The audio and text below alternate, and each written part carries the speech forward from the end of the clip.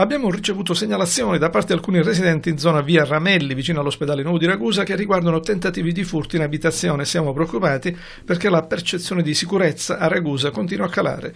Lo dichiarano dal laboratorio 2.0, i cui aggiungono che già nel centro storico della città si sono verificati episodi delinquenziali come quello del negozio incendiati in via Roma e ora anche nelle periferie. Si registrano casi spiacevoli e ciò influisce sulla sensazione di serenità dei cittadini che temono il verificarsi di fatti gravi gravi.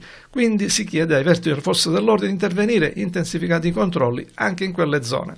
E sarà necessario quanto prima, rimarcano da Laboratorio 2.0, anche un nuovo piano di sicurezza urbana che potenzi la videosorveglianza al centro come nelle periferie e nelle contrade. Un impegno dunque che il nostro candidato sindaco Sonia Migliore ha voluto inserire nella nostra mappa del buon governo da presentare agli elettori.